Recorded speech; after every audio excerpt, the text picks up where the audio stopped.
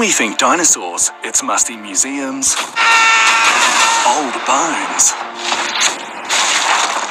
and dusty textbooks. This is going to be a lot of fun. From death-defying stunts Whoa! to jaw-dropping special effects, Steve Backshall is bringing his big experiments to the big screen. I suggest we all stand back. Deadly Dinosaurs in cinemas these school holidays.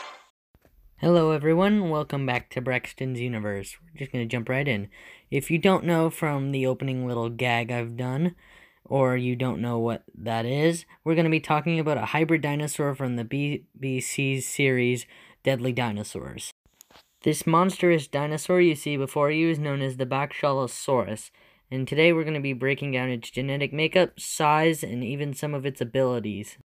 Now, first off, we're going to discuss the dinosaur that makes up this thing's base genome, which is quite obviously Spinosaurus. It's got its sail, somewhat of its skull shape, its size, which we'll get to later, its arms, and its teeth. Next, we have the unmistakable tail of the Ankylosaurus. As well, if you look very closely under its back, you can see the armor scute-like structure of Ankylosaurus. Next, we have the Therizinosaurus, which increases the size and strength of its arms, as well as the size of its claws. Next, it's mentioned in the video about it that this thing would have no problem taking on an adult Tyrannosaurus. And for those of you, myself included, who have watched Ultimate Dino Survivor, you'd know that the only thing that can take down a T-Rex is another T-Rex, which makes up part of this thing's genetic makeup from its distinct skull shape. As well, this thing probably has the bite strength of a T-Rex, because if you T-Rex is one of the deadlier dinosaurs thanks to this bite strength, and eh, because this thing has the deadliest dinosaur rating, it probably have some of that T-Rex bite force in it.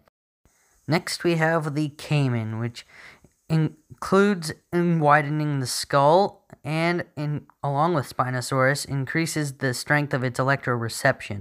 And finally, we've come to the Liopleurodon, which also contributes to the shape of its head which you can see it is very similar to this thing's head. And that's this thing's genetic makeup. Spinosaurus, Therizinosaurus, Ankylosaurus, T-Rex, Caiman, and Liopleurodon. Now that the genetic makeup is out of the way, let's talk about its size and its abilities, which include heightened electroreception, as well as, if not to pulverize like T-Rex can, crush bone. And for size, this thing is 26 feet tall and 52 feet long, or 6 meters. And that has been our time with the Backshallosaurus.